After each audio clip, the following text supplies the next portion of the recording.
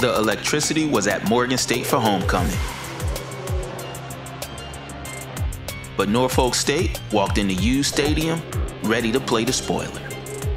They started fast. On the first drive, Kevon King took a handoff and hit the sideline for a 34 yard run to put the Spartans on the board 7 0. The Bears were driving down the field.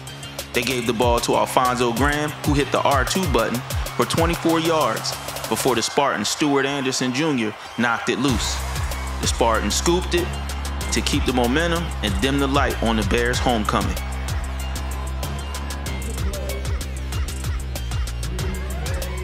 In quarter number two, Otto Kuhns threw a dime to Da'Quan Felton for 35 yards. Then we have a J.J. Davis sighting.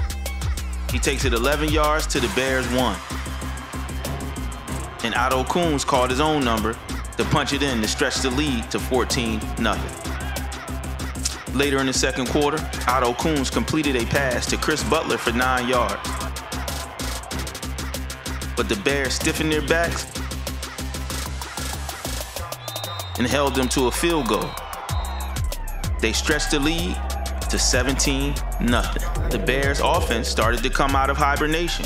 Carson Baker was moving the ball and hit Miles Wright for 15 yards. Then with 0 seconds left on the clock, he throws it up for grabs and Tyler Wilkins comes up with the ball in the back of the end zone to put the Bears on the board at the half. Norfolk State 17, Morgan State 7.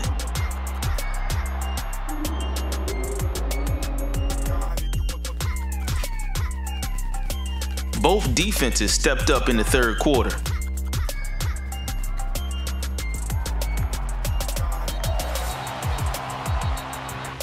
As the fourth quarter started, Graham got the rock and rushed for 40 yards.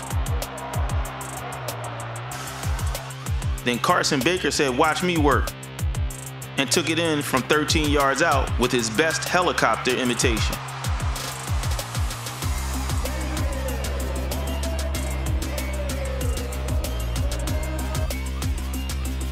After the kickoff, Otto Kuhns gave the ball right back to the Bears' Lawrence Richardson. With a little bit of time left on the clock, down by three. They gave it to big play Alfonso Graham, who took it 51 yards to the house with a minute 53 seconds on the clock. Spartans had 64 yards and under two minutes to score. Later in the drive, Otto Kuhns connects with Da'Quan Felton for 12 yards.